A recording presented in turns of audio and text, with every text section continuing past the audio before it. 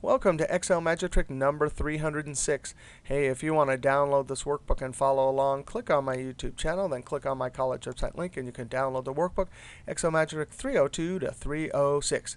Hey, in this trick, we have some letters and cells, and we need to look up each one of these in this table, and we need to return all three things to a cell. So C should return 5, A should return 9, and T will return 3 down here on the list.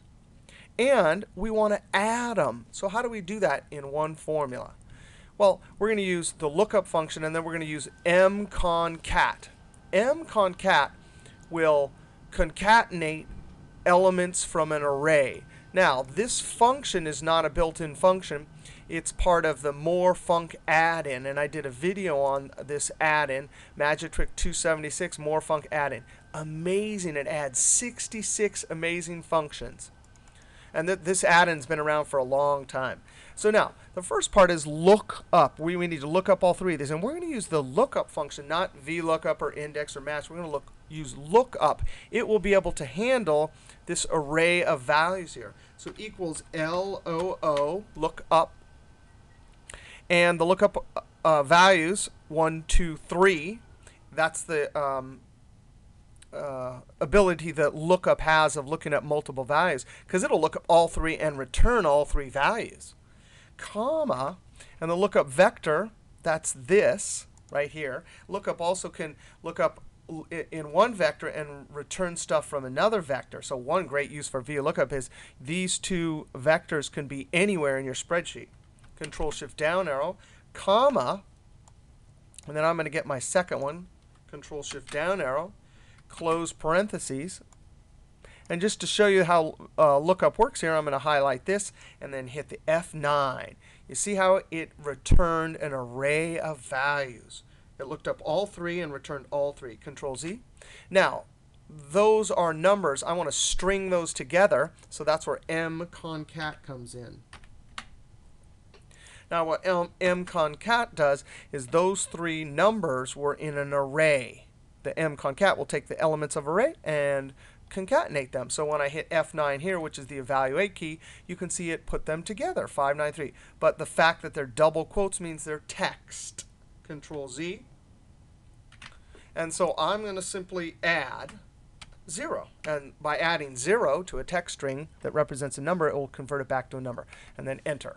Now, I posted this question to the Mr. Excel uh, message board, and the link is right there. And I got two answers. Uh, Dave Patton made a major improvement on the one I did. I'm going to scoop this out right here. Control C. Equals Control V. Uh, he pointed out um, that lookup, you don't need to use the lookup vector and the result vector. You can just use it as a little table. So I'm going to highlight both of these, backspace, and simply highlight the first two and Control Shift down arrow.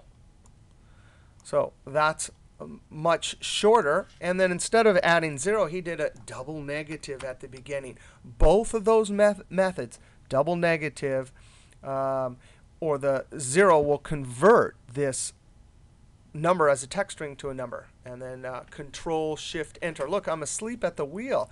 What did I do up here? Uh, someone should have screamed at me when I did that. oh, that's not what we want you got to control shift enter. This mconcat is an array function. Control shift enter. So there it is, 593. Now, now Richard Schollar from the Mr. Excel uh, message board had a great solution that didn't involve the mconcat, which means you don't have to download that add-in. Now we still use the uh, lookup because that is a great part of this of any formula you do for this equals that. But uh, he noticed, if I highlight this and hit F9, there's a 5, and 9, and a 3. And really what we want is 593. Well, if you remember from fourth grade math, uh, this 5 represents 100. So if we could multiply 100 times that 5, it would give us 500. And 10 times that 9, it will give us 90. And 1 times that 3, it will give us 3. So here's how we did it. Control Z. He raised those three numbers, exponent here, raised it, and in parentheses, 3 minus. And now I'm going to curly brackets. This is array syntax. 1 semicolon, 2 semicolon 3, close curly bracket, close parentheses. Now what this does is 3 minus 1 is 2, 3 minus 2 is 1, and 3 minus 3 is 0, which is exactly what we want. If I hit this and hit F9, um, oops, Control Z. Uh, the, the part I forgot is this, times 10.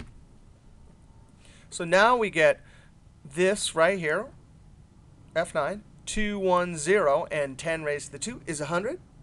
Uh, 10 raised to the 1 is 10, and 10, oh, 0 raised to anything, of course, is 1. Control Z.